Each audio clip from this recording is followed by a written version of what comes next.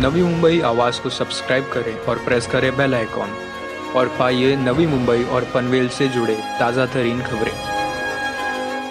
बुधवारी वाशीतील प्रथम संदर्भ रुग्णालयावरती हल्ला करून केलेल्या तोडफोडी प्रकरणी पोलिसांनी आता कडक पावले उचललेली असून रुग्णालयांना पोलीस सुरक्षा देण्याचे ठरवले आहे. व्यंकट सूर्यवंशी या अत्यवस्थ रुग्णाचे निधन झाल्यावरती त्याच्या नातेवाईकांनी मनपा रुग्णालयात घुसून मोठ्या प्रमाणात तोडफोड केली होती. यात लाखो रुपयांचे नुकसान झाले होते. तर चार जणांना अटकही करण्यात आली. डॉक्टरवर होणारे हल्ले अत्यंत गंभीर घेण्यात आले असून पोलिसांनीही सकारात्मक पावले उचलत सुरक्षा देण्याचे ठरवले आहे. यामुळे डॉक्टर व अन्य स्टाफ निर्धाकपणे काम करू शकेल अशी आशा व्यक्त करण्यात येत आहे.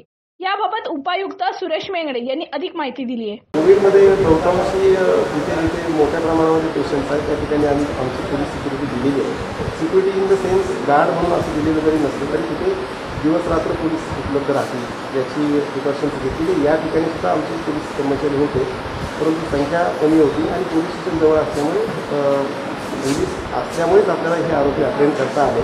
परंतु भविष्यामध्ये सुद्धा डॉक्टरांचं कर्मचाऱ्यांचं मनोबल राहावं यासाठी पोलीस या ठिकाणी ठेवण्यात येते आणि आमची गव्हर्नमेंट सिक्युरिटी पण त्यांच्याकडे आहे. त्यांची संख्या जी आहे ती रात्रीच्या वेळी वाढवण्यात येते नवी मुंबई आवाज ब्युरो रिपोर्ट.